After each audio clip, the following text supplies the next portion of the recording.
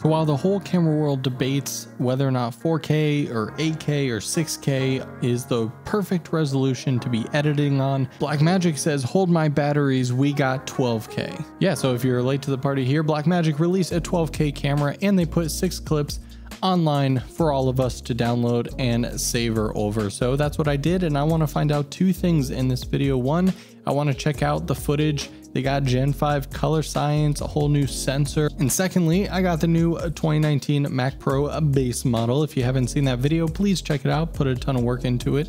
Uh, and I want to see how 12K footage handles on this machine with not much added to it. Again, bone stock Mac Pro, but still should do okay. We'll see. Uh, B-RAW amazing codec. Uh, so if I bring up the files, I have DaVinci setup here, but before we jump into that, uh, here we have the six different clips. And as you can see, if I just open up one of them, uh, hopefully it's not choppy for you. Um, sometimes QuickTime screen recording can be a little choppy, but on my end, this is perfectly smooth. By the way, thank you Blackmagic for actually giving like test footage that really kind of pushes the limit of a sensor. Because like one of these clips, like this one, for example, it's a nice clip. It's perfectly fine, but it's just like, you know, a model on an overcast day. Like this borderline looks the same as any $1,200 camera out there. So that's not as impressive to me as something like this. The other nice thing is even though that clip is only about 10 seconds, uh, it's also just over a gig in size, so if the data rates were consistent, that'd be about 6 gigs a minute, which in the cinema world, honestly, I thought it'd be a lot more for 12K, so I ain't mad. All right, we got our Resolve project set up here. If I go into project settings, we can see that we have a custom timeline of 12,228 pixels by 6,480 pixels. That is redonkulous, but that is indeed the native resolution for these 12K clips. Let's pull one in to the timeline here. All right, so right now I am concerned because my RAM usage is already up to 17.76 gigs for Resolve and this computer only has 32 gigs. Uh, it's probably because we're doing a combination of screen recording as well as pulling this stuff in. So let's see if Clean My Macs can free some of that up. All right, so hopefully this doesn't fill up my RAM and cause everything to crash. All right, let's see playback here. Press play. And nothing's happening. Oh, there goes. Half a frame. All right, so clearly uh, full resolution playback, not a thing. Let's go to proxy mode, quarter resolution. And would you look at that? Perfect playback. Good job, Mac Pro. Uh, damn, B-RAW is such a good codec. I- I'm honestly kind of shocked. I really thought I was going to have to do full on optimized media and proxies and all that stuff. I'm sure we'll get there with a light color grade on it, but for just the raw footage, you can fully play it back. We got a solid 24 up here, no stuttering whatsoever. So let's go to the color page and see how it does. In our color page here, gonna pop up our scopes. We're also going to apply this good old saved node tree. Shout out to FCM Waqas Qazi uh, Colors Masterclass. Moving on, we go into color space transform.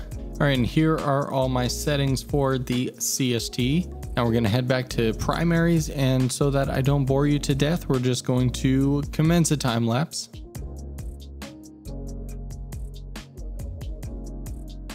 Now I wanna interject real quick in here that as I'm going through the different uh, color options and going through like pulling the skin tones here, uh, it's really important that none of this is lagging bad at all. The worst thing that you can do is if you're messing with sliders and doing a bunch of different stuff that you have to wait five seconds for the changes to take effect. So as I'm, you know, moving this saturation slider around, it's actually updating uh, very responsiveness, however you want to call it.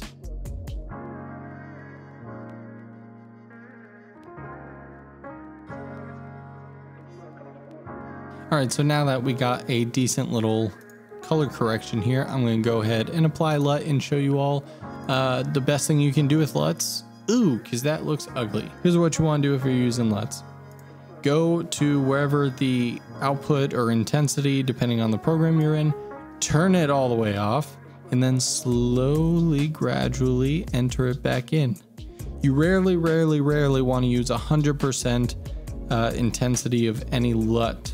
Personally, I'm feeling right around here, right around 42% intensity. And so I like this. I'm to turn off the sharpening and auto grain in here because I don't think we need to sharpen 12K footage already. But let's head back to the edit page and see how it does. All right, so we're back on the edit page here. Let's check our playback again. We're still in quarter resolution.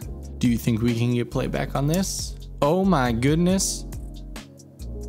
Stuttered for like a quarter of a second in the beginning, but this is smooth playback. I on, I'm I'm honestly surprised by this. A full I have my full grade on here. You know, I did forget to do one thing in the grade that I could use slightly. I don't think it's gonna change much of the outcome, but just needs a little bit more dynamic. Ready for this? Ready for this? Boom! Nothing crazy, nothing crazy. Bring it back. Do a little S. Yeah, how much more dynamic that is. Let's play back. yep, we're still solid 24. All right, now I know what's gonna cause this thing to hiccup, and that is going to be as soon as we add noise reduction, my computer's going to cry. Okay, about 12 frames. It's playing back in basically slow motion. So the good thing about that is we could easily set up proxies um, and optimize media. And we can get this thing to play back in the project settings. I said to ProRes 422 proxies. Uh, the only reason I'm not going to do that is because I just tried about three times, and this is like my third time recording this little bit here. Um, and so I don't know if it's screen recording and trying to do this. I just don't have enough RAM in the computer, so that needs to be added. And honestly, I don't want to take a ton of your time going through the same six clips is all going to breed pretty much the same results because it's not necessarily what's in the clip. Of course, the color grade may change um, how much computing power that specific clip takes up, but all these are going to be roughly the same. So I encourage you to go download the footage, play around with it for yourself, and I would love to know what computers you have. Can you get it to run? It just shows how good of uh, a codec B-RAW is, kind of like how Apple controls the whole ecosystem. Blackmagic Design makes the camera, makes the sensor, makes the codec, and makes the uh, software DaVinci Resolve. So the only thing they don't control is the computer, but they have a pretty uh, good grasp on the entire pipeline. So they can make footage that is smaller, better, and runs very efficiently. I thought this was going to be like a joke video where I just like open resolve, import 12K footage, and then everything just crashes. And if everyone had to own a beefed up version of one of these, then that'd be kind of useless. But uh, yeah, so Ursa Mini Pro 12K runs very well. And that's it for now, guys. If you have any questions about the camera, Blackmagic, DaVinci Resolve, let me know down in the comments below. I'll have a bunch of resources in the description for you to check out. Everything from the LUT packs I use, Lutify me awesome. And if you use the link in the description, I get a small kickback. So thank you all who have purchased through me. In addition to that, you'll find the links for all this footage. So yeah, thanks so much for watching, guys. See you in the next video.